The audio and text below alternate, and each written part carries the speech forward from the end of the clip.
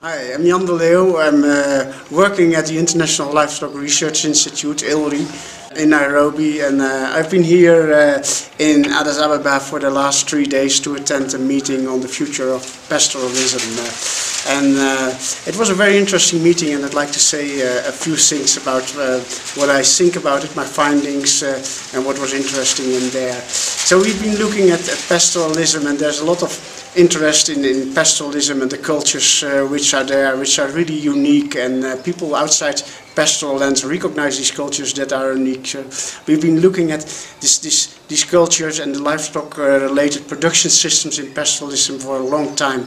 You see that these systems at this moment are very much in, uh, in transition and actually we had a number of participants from pastoral systems all over Africa. I think something like 20 or 10 or 20 different areas which were constructing a timeline, what was happening in these systems. And what we noted is that the history of what has been happening before the 1950s, 1960s, it was largely dominated by, by droughts, by disease outbreaks, and a number of political issues which were happening in colonial times. But the impact of outside uh, society on these pastoral systems was largely minimal, apart from the political issues like displacing people in Kenya, the Maasai from the White Highlands into the Maasai territory.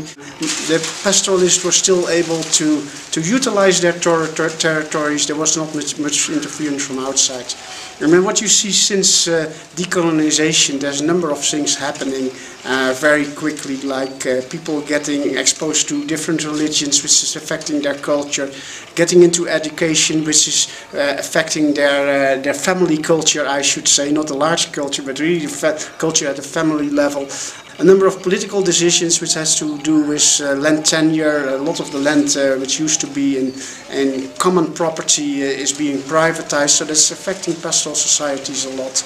And what you see now is that with population growth, but also with these other drivers of change, you see that pastoral societies are really uh, at a, at a in a position now that they're really transitioning.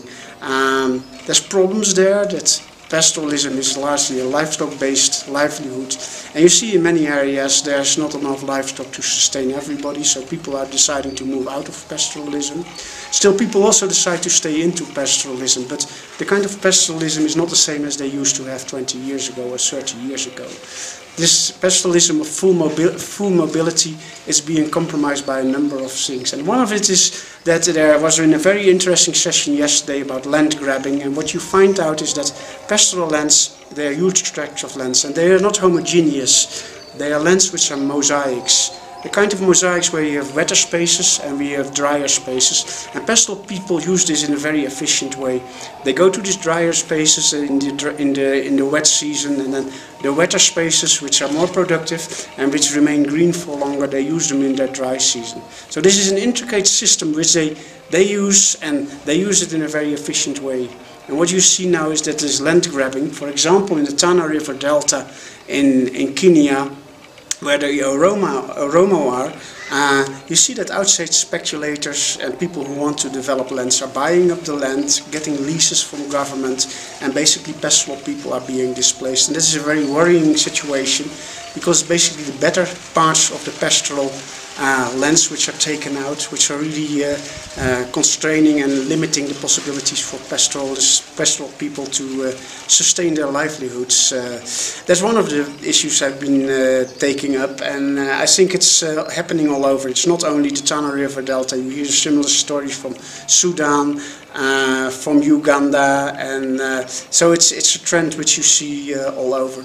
It has to do with land tenure. Much of the land which pastoral people are using is common property land, which is not owned by these communities. There's a traditional ownership, but the formal recognition uh, that they own this land is not there.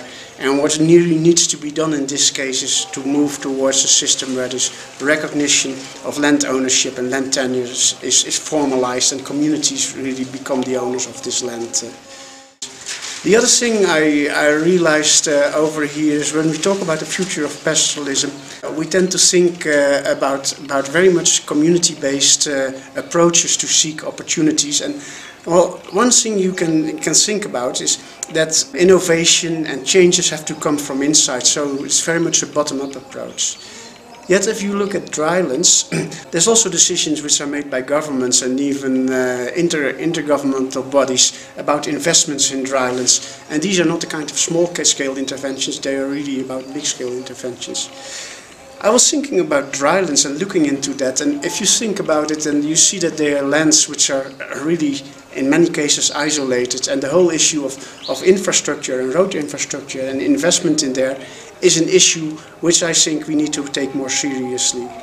I'm not a proponent uh, to, to develop road infrastructure, uh, not at all. um, but I think uh, decisions are being made. And I think a community like we have over here should think about it. How do we respond to, that? Is it economic? Are the economic effects of road infrastructure development, are they positive? Are they negative, having negative effects on, on social systems and on cultural systems? I think you might argue that, that roads, better connection with the outside, is not very positive for, for conserving cultures. Uh, the same thing happened, uh, uh, there's issues around the environmental impacts of that. And I think when we talk about pastoral lands, there's something like that. We have to think about that because there's investors like the World Bank, the European Union, they think in terms of 50 or 100 million dollars and not into small-scale investment to be really large-scale investment. So I think that's another issue we have to address and it's going to have uh, an impact also on the livelihoods, on the livestock uh, side. Uh, it creates opportunities for better marketing. So from the perspective of my organization, I think that's also an issue where we should have an interest and look into.